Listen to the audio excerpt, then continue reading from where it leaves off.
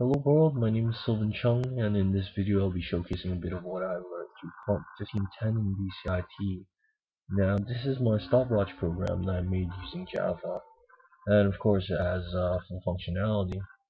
Um, the layout is a pretty much standard stopwatch layout with a start-stop button in one, and then a reset button for another. And then here's the time, as you can see it's right now at zero now when I press start, of course it starts incrementing. Stop, and it stops.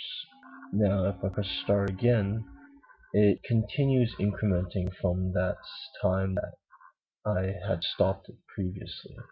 Now stop it again and I can reset. And that is pretty much my demonstration of the stopwatch that I created.